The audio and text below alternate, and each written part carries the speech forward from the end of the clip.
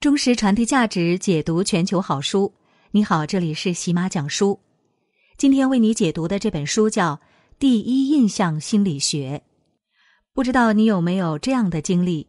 你刚参加完一场面试，自我感觉表现不赖，结果却久久没能等来那个让你参加二面的电话；或者你刚和一个潜在商务伙伴初次会面，你认为自己表现得很专业。可是后来你再约他，他却总找理由推脱。也可能上周末你刚参加完一次集体相亲，你还为此精心打扮了一番，结果你发现和你同去的女伴接到了好几个相亲对象的微信好友申请，你的手机却静悄悄。怎么会这样呢？实际上，你的自我感觉可能和别人的感觉并不一样。比方说。如果你觉得自己在面试上表现得很健谈，那么给别人的第一印象就是不够虚心。如果你认为自己见客户时认真严谨，别人可能觉得你古板木讷，不会变通。如果你觉得自己相亲时不过是有点腼腆，那你给别人的第一印象可能是不好接近。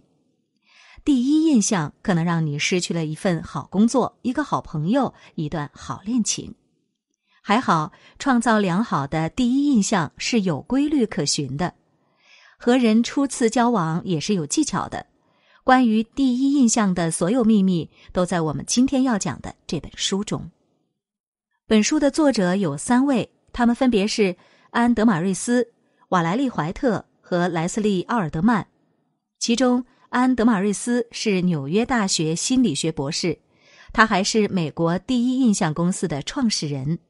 第一印象公司帮助客户了解在初次约会与社交场合中的自我表现，并为财富一百强公司的经理们提供领导技能的培训。美国国家公共电台、英国广播公司、国际公共广播电台等都报道过这家独特的咨询公司。本书在美国一经出版，就受到了《出版人周刊》、书单等多家媒体的大力推荐。在中国出版三年多，也加印五次，得到了读者的广泛认可。下面我们将从三个方面来给你讲解本书主要内容。第一，第一印象为什么重要？第二，如何创造良好的第一印象？第三，如何补救不良的第一印象？首先，我们来讲第一个问题：第一印象为什么重要？虽然人们大多认可第一印象的重要性，但可能不会去深入分析其中的道理。于是，作者给出了两个理由：第一，现代人和陌生人见面的机会大大多于过去。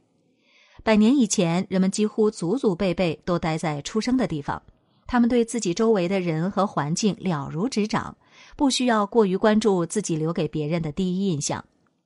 可是，对现代人来说，人们的生活变动远远多于过去。我们可能经常换工作、搬家，甚至迁徙到新的城市生活，这就需要频繁和素不相识的人建立关系。我们甚至每天都可能结识新的人，比如孩子同学的家长、便利店的店员、一起健身的人、飞机上邻座的乘客等等。每天你都有可能遇到初次见面的人。因此，第一印象就显得尤为重要。第二个理由是，作者认为第一印象是个过滤器，它决定了他人日后很长时间对你的刻板印象。如果你不相信，请先假想一下这个场景：你在路上发现两辆车发生了刮擦，车主 A 正在气急败坏的大声叫骂，车主 B 则在旁边用平静的口吻打保险电话。那你会不会立刻就产生这样的第一印象：车主 A 是个脾气暴躁、难以相处的人，车主 B 则是个温和、靠得住的人呢？的确，他人会根据初次见面时你的表现来脑补你整个人，而且在接下来很长一段时间里，他们都会用第一印象这个过滤器去探寻你身上和他们印象相符的特征，过滤掉和他们印象相悖的特征。也就是说，在交往不深的情况下，人们根本不会在乎你实际上是怎样的人，只在乎他们以为的你是怎样的人。这势必会影响你们接下来的关系走向。了解了第一印象的重要性，那么如何为自己创造良好的第一印象呢？为了方便理解，我们来假定这样一个场景：假设你将要和一位名叫苏珊的女性进行一场初次会面，你可以把苏珊想象成一个潜在客户、一个相亲对象或者一个可能的合伙人。不过，不管他的身份是什么，你现在的目标只有一个。那就是让苏珊对你产生良好的第一印象。好，下面我们就分三个阶段给你介绍良好第一印象形成的诀窍。第一个阶段是预热阶段，在这个阶段，你需要尽量让自己富有亲和力。首先，你要营造出易亲近的个人风格。个人风格包含的第一个要素就是你的个人形象。个人形象包括你自身的形象和你的穿衣风格。自身的形象很好管理，你只需要在和苏珊约会前，保证自己的牙缝清洁、头发干净整齐、指甲没有污垢等就好了。关键是你要学会管理自己的穿衣风格。其实，穿衣风格的好坏并没有统一的标准，最重要的是你的服装风格要契合你想塑造的个人形象。并要融入当时的环境。作者给出了两点建议：第一是和人初次见面的着装不要过于随便，也不要过于隆重。太过随便，比如穿 T 恤、短裤、夹趾拖，会显得对人不够尊重；太过隆重，比如穿全套西装打领带，又会给人压迫感。第二个原则是，你的服装要让自己感觉舒适。否则，你会一直因为快崩开的衬衫扣子或被鞋磨破的脚后跟而焦虑。作者还提醒你不要受到聚光灯效应的影响。所谓聚光灯效应，就是当我们出丑时，总以为别人会注意到，其实并不是这样的。所以，你也无需太在意自己眼睛有点小、肚子太大，今天还配错了包包。苏珊真的不一定注意到。营造有亲和力的个人风格的第二个要素是放松身体。首先要脸部放松，就是露出笑容。虽然这是老生常谈了，但假如你能在见到苏珊的那一刻露出微笑并保持下去，那苏珊一定会感受到你的友好，促进你们接下来的交流。除了脸部放松，同时身体也要放松。假如你入座后就一直保持僵硬的坐姿。或者一直不自在的动来动去，那无形中就给苏珊营造了一种紧张感，让她也无法放松下来。让自己富有亲和力的第三个方面，就是要注意刚开始寒暄的内容。作者对此提出了两条建议。第一条是建议你主动做自我介绍，这有两个好处：一是你卸下了苏珊主动自我介绍的压力。她完全可以依照你介绍自己的方式为模板来介绍自己，不需要考虑太多。二是这会让你发出自信自在的信号，也给苏珊营造出自在的氛围。第二条是建议你寒暄的内容要适应当时的环境。也许你很想让苏珊知道你的与众不同，但初次见面比较安全的做法是尽量让自己的关注点显得与当下环境里的人差不多。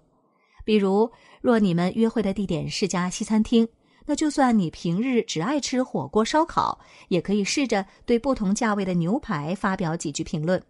当然，你也可以聊聊今天的天气、你们座位看出去的风景等。当你迅速融入了当下的环境，苏珊得到的信号就是你很随和，看起来还挺好接近的。在这里，作者提醒你可以适当说一些夸张的好话。比如，哇，这家餐厅真是不错！天哪，这儿的景色太美了，等等，这能让苏珊感受到你情绪很好，你喜欢这里，也喜欢和他见面。比起平淡的说一句“很高兴见到你”，让苏珊更容易对你产生好感。好，假如你在预热阶段就让自己显得有亲和力，恭喜你，这是个良好的开端。接下来，你和苏珊可能会试探着互相了解，这是创造良好第一印象的第二阶段——切入阶段。在这个阶段，你要尽可能表现出关注对方。为什么呢？你可以先回想一下，当你和某人约会时，他对你的事漠不关心，从不问你问题，还总把话题扯到自己身上，你的感受如何？那假如和另一个人约会，那个人总是饶有兴味的向你提问，并对你所说的一切感兴趣，你的感觉又如何？相比之下，你对谁的印象更好？答案不言而喻，人们当然都会喜欢对自己感兴趣的人。那你现在该如何表达对苏珊的关注呢？作者提出了四点建议。首先，还是要注意自己的身体语言。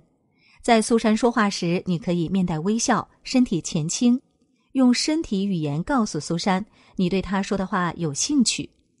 另外，你还要注意你和苏珊眼神接触的时间。研究人员在实验后指出，人们在交流中一般有百分之四十五至百分之六十的时间存在眼神接触。你可以等于或者高于这个时间，但不能少于这个时间。需要注意的是，你不能总是多次短时间的注视，这样很容易给人造成心不在焉的感觉。适当延长每次关注的时间，才更能表达你的关注。第二，作者建议你学会恰当提问。恰当提问包含两层意思，第一层意思是提问的次数要恰当，你向苏珊提出问题的次数要多过苏珊对你提的。恰当提问的第二层意思是，提问的方式要恰当。常见的不恰当提问方式是封闭式提问和假意提问。什么是封闭式提问呢？就是你提出的问题像连珠炮一样，而且问题的答案只需要几个字。比如，你接二连三问了苏珊一连串问题：你老家在哪里？你现在住在哪儿？你是做什么工作的？等等。这种提问方式给人的感觉好像在审讯，让人喘不过气来。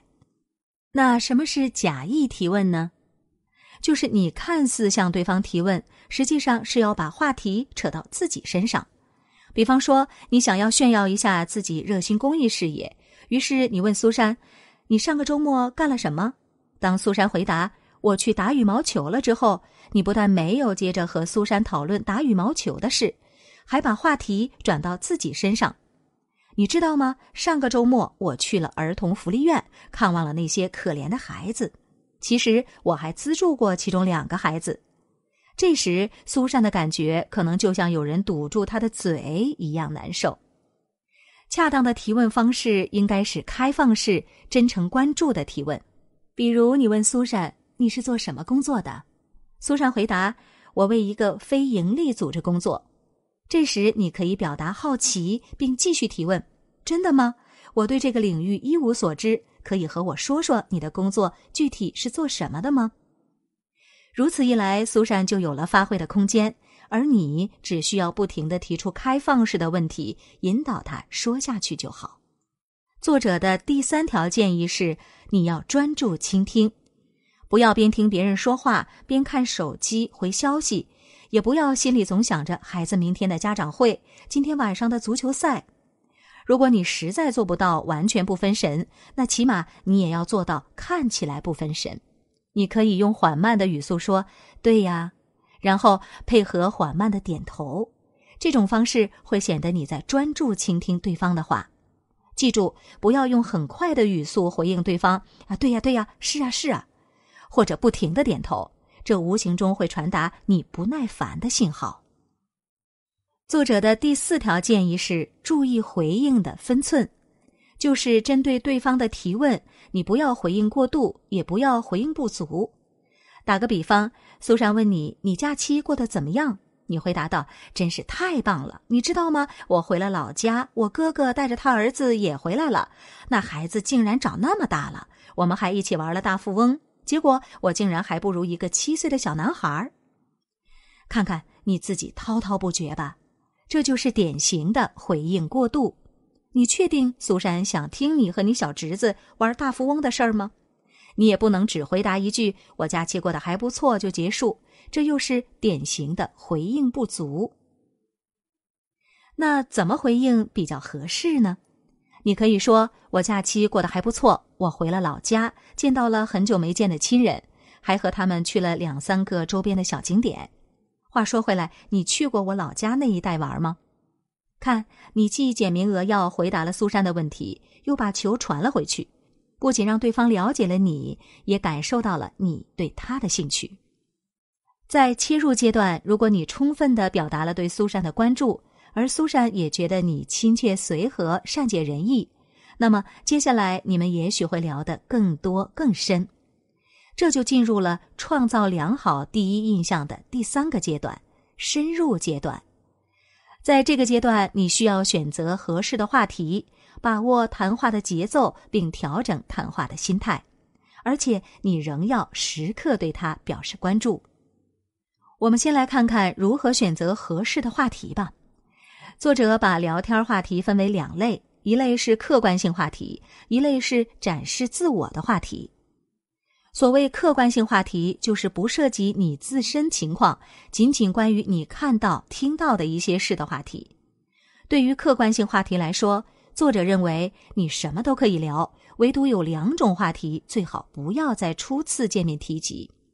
第一种就是敏感话题，比如政治立场、宗教信仰或者经济条件等。比如你随随便便就说出“现在谁兜里没有一百万呢？”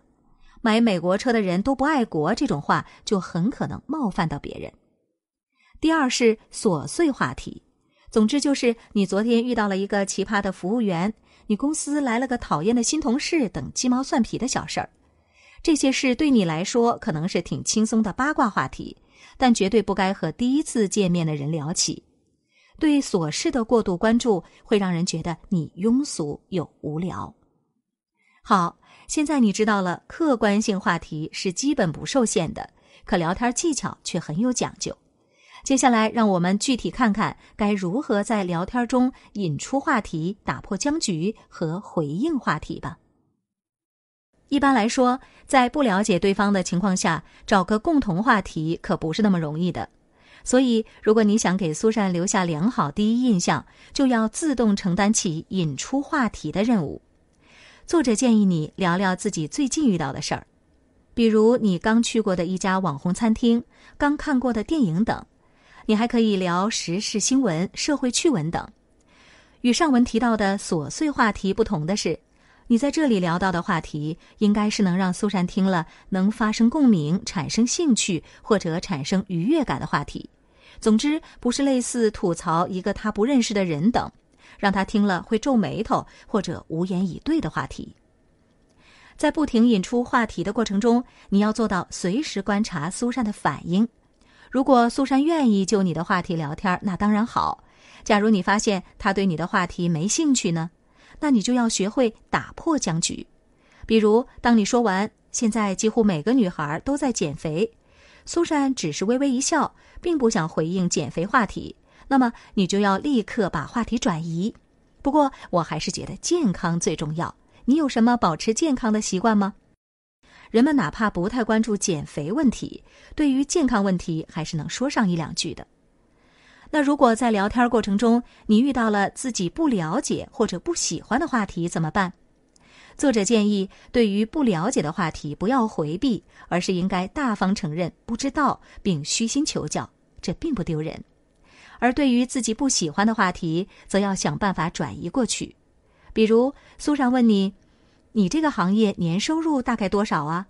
你并不想过早透露收入情况，那你就可以回答：“收入随市场的变化而变化。”你不觉得接下来一两年全球经济形势都不太乐观吗？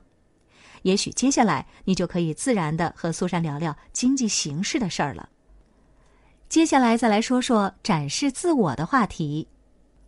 对于这类话题，作者建议首先要遵循信息对等的原则，其次要掌握展现喜好、示短两个技巧，最后还要避开自夸这个陷阱。先来说说什么是信息对等原则。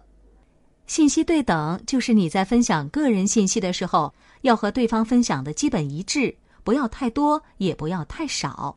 比方说，苏珊和你聊到了她的工作、老家、家庭成员等情况。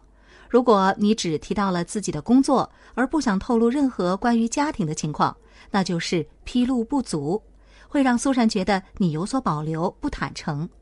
可假如你过度披露，洋洋洒洒把你从小到大的经历、梦想都说了一遍，苏珊会觉得你有点肤浅幼稚。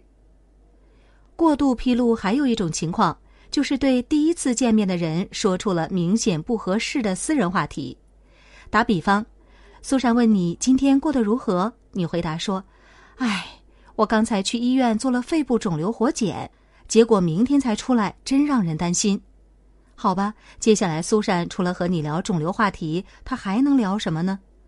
同类的过度披露话题还有你的婆媳关系、夫妻关系、亲人的离世等，这些话题还是留给无话不谈的老朋友吧。再来看看我们在分享自我的过程中，为什么需要展现喜好呢？假想一下，你在说起自己挚爱的宠物、喜欢的体育运动或者愉快的旅行经历时。是否会喜形于色、热情洋溢？无论苏珊是否也有同感，她都能感受到你对生活的热情，知道你不是个枯燥乏味的人，自然会给你加点印象分。那我们又为什么要向初次见面的人示短？那是因为当你坦率的说出“我刚来这座城市时找工作找了三个月”，或者“我是个路盲，刚才兜了好几圈才找到这家餐厅”这类话的时候。苏珊反而会觉得你很真实，有人情味儿，她也会敢于在你面前展现一些自己的小缺陷，这无疑会增进你们的关系。最后看看我们在分享自我时常遇到的陷阱。第一个陷阱是自夸，你也许不会故意自夸，但你可能会在对话里暗示自己的优越，比如你在介绍住所时说。听邻居说，我住的那个小区里还住着几个一线明星，真希望散步能遇上他们。或者在介绍工作时说，因为工作关系，全世界的大城市都跑遍了，我现在挺怕坐飞机。要知道，无论你说的再隐晦，苏珊也能感受到你迫不及待的要炫耀自己的心情。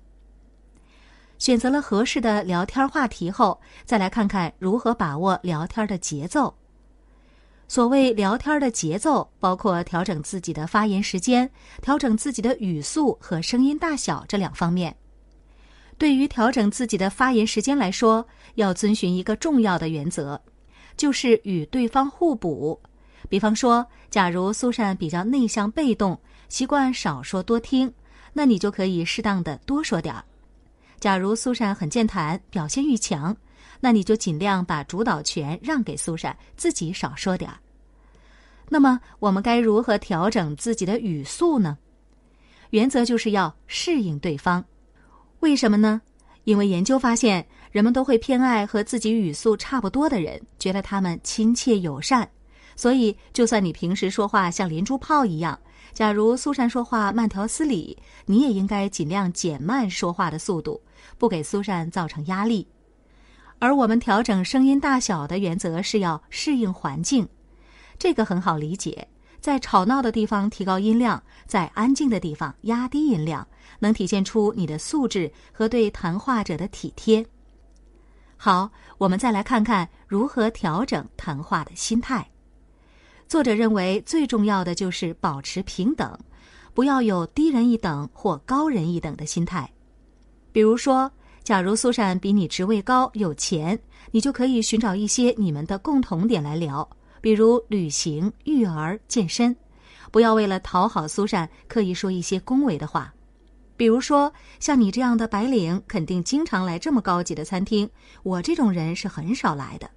也许你以为你的姿态代表谦逊，其实，在苏珊眼里，你可能是自卑或者心态不平衡。如果苏珊生活不如你，你就要刻意谦虚，并偶尔自嘲一下，尽量拉近两人的距离。比如，你可以说你是做服装行业的，而不要说你开了几家服装连锁店，这样才能传达出我和你是一样的人的信息，让苏珊对你好感倍增。到这里，我们把创造良好第一印象的三个阶段介绍完了。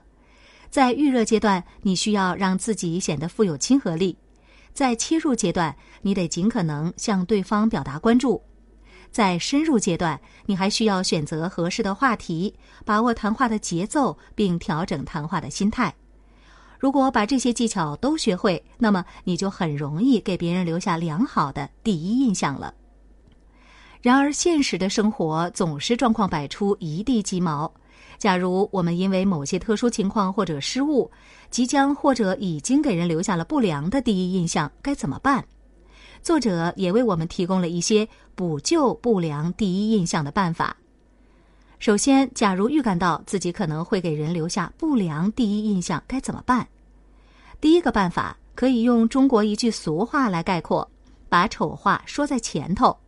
比如说，你知道自己通常见到陌生人会比较紧张，说话比较少，那么你就可以在和苏珊正式交谈之前对她说：“不好意思，我第一次和人见面会有点小紧张，说话不多，请别在意。”或者你儿子今天拿了全校第一，你情绪亢奋，你也可以提前对苏珊说：“今天我心情不错，如果不小心说太多，请你提醒我下哦。”你的提醒会让苏珊宽容你可能不太完美的表现，防止不良第一印象发生。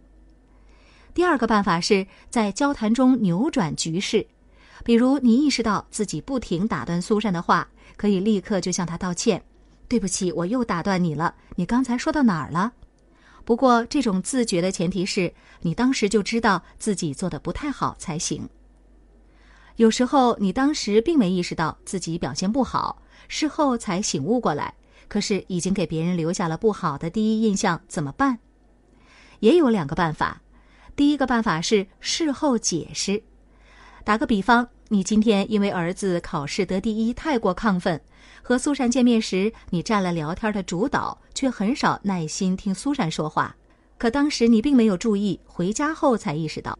那么你可以发微信给苏珊，简单解释一下。今天和你聊得很开心，不过今天我的话可能有点多。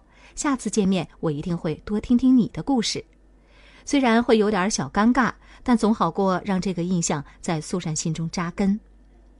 第二个办法比较温和，那就是等待时间帮你扭转印象。随着时间的推移，假如在你后来和苏珊交往的过程中，能克服自己的不足，懂得关注苏珊的感受。那么他就会慢慢对你改变看法，虽然时间比较长，但只要你有意识的去做，就有希望能做到。也许你会说，第一印象好或不好又如何？我就是我，我不想改变。是啊，假如你给人的第一印象准确的反映了真实的你，你的确可以不做出改变。那么，假如不良的第一印象是因为你用了错误的方式表达自我而产生的呢？这时候，你只需要学着改变一下表现自我的方式，或许就能掌控一段人际关系的发展，在每天与陌生人见面的时间里，获得更多的快乐，同时收获更多的自信。好，第一印象心理学这本书就为你解读到这里，听书笔记在音频下方，我们下期见。